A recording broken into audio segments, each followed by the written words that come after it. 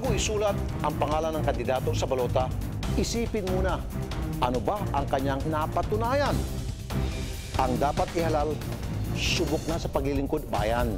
Hindi lang puro satsat at mabulaklak na salita. May solid track record na ng mga nagawa para sa kapwa.